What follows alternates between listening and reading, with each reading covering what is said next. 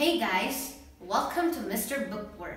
So today I am gonna be um, going through all of the books that I've read in 2020.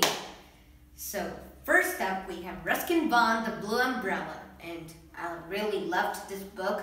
It was easy to read and fun and interesting. So really interesting book. And second up is Secret Seven, and this is the Secret Seven book, and it was like um, it was like solving a mystery or a case, and it was um, really mysterious and fun book to describe it. And third, we have I'm 12 years old and I saved the world, which I clearly did not understand, but um, it um, it's by D.K. Brantley and it was a fun book.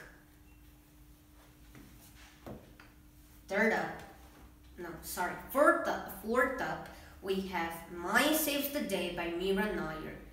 Um, I had finished the, I had finished this book in 2017 and it was a funny and easy to read book.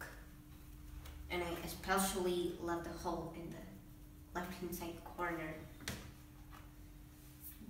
Next up is Christmas Carol, which it was like um, th uh, three spirits um, which talk about the present, past, and future, and it was um, a little bit spooky, not that much, and um, it was a fun and easy to read book.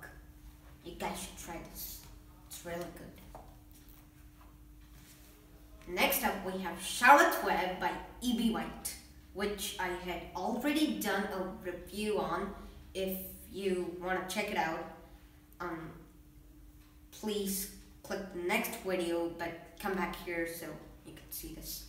So, this was a fun, easy, and understandable book, which I have to say. And Next, we have Geronimo Stilton, The Hunt for the Secret Papyrus. And um, this I read in 2018. I, I, um, it was a fun and easy to read. Um, it was um, easy to understand too. Next up, we have Gangsta Granny, which is super funny and humorous. It's a great humorous book written by David Walliams, and um, um, it's a funny and well illustrated book. So it's like this in a few pages.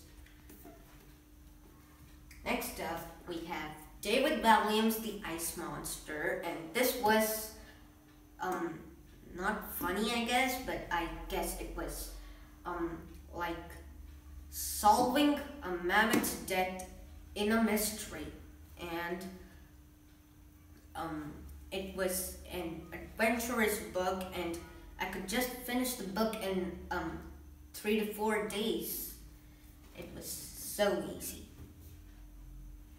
Harry Potter and the Philosopher's Stone is um, I I couldn't really understand the book because it's the adult version. I, um, for younger readers, I would prefer the illustrated version of Harry Potter. There are only four books, so you don't get the whole series in it, but for the adult version, you do. So, next up we have Harry Potter and the Chamber of Secrets, which I did not understand it all. It's a super hard book to read and not understandable kind of a book. But people who are good readers can understand, I guess.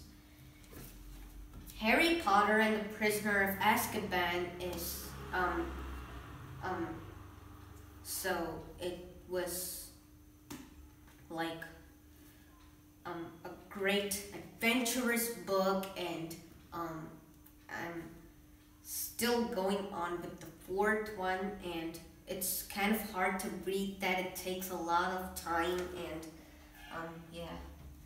14 winning strategy from Olympic champions is written by my father um, and is it's a great book but I really didn't understand the book.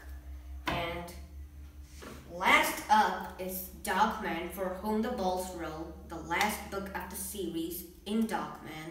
And it's written by Dav Pilkey Pilkey Dav Pilkey and um, it um, it's a graphics novel that looks like this. And, um, so it's a funny book, but I really don't like um, graphic novels as much as I read more chapter books. So I like more, I prefer reading um, chapter books than just reading graphic novel books and graphics.